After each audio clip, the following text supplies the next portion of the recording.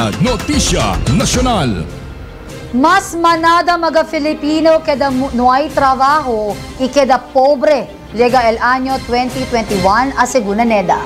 Mas da mga detalles sa report ni April Pantaleon Araneta. Mas manada mga Pilipino posible ay kinanoy trabaho i eksperyensya pobresa hasta na anyo 2021 per causa ng COVID-19 pandemic. Estel Cosayabla, el National Economic and Development Authority o NEDA. Asigun kun Acting Socio-Economic Planning Secretary Carl Kendrick Chua, kay na mas latest projections, dadali mira kay el poverty incidence rate ay alkansa na 15.5 at na 17.5% na otro anyo desde na 16.7% o 17.7 million mga persona del 2018. Mayor parte ay sigun del ay sala afektaw amo mga persona ta keda na capital region in mega cities. Buhay na lang nga sigun kay nuay keda bien afektaw al mga persona ken albus kalabida amo na aspeto de agrikultural. Al Philippine Statistics Authority, amo ta calcular el poverty incidence cada tres año donde el gobierno del país tiene el target para menorar el poverty rate para na 14% o mas bajo na año 2022. Además, del año 2018, el Duterte administration ya puede man-achieve el target de alivia con el vida del 6 milyon mga Pilipino desde na pobreza pero man reverse este por causa con el ta experiencia crisis na salud el entero mundo donde implementa el quarantine restrictions y montón mga establecimiento el Elia Cabacera y montón el queda no hay trabajo. Para na Frontera Nacional, April Pantaleon Araneta, Imidyamo, Solid Thank you for watching this video.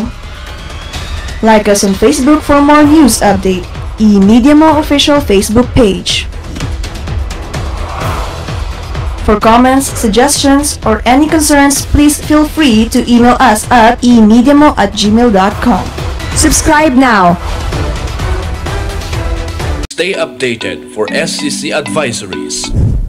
In behalf of our Dean, Dr. Magdalena Y. Lim, I am Deo J. Galvez, Coordinator of the Department of Education and Liberal Arts. Want to join the rank of teachers and be a molder of the young minds today?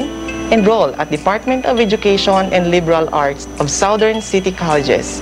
We offer Bachelor of Elementary Education, Bachelor of Secondary Education, majors in English and Filipino, plus Professional Education Certificates or PEC.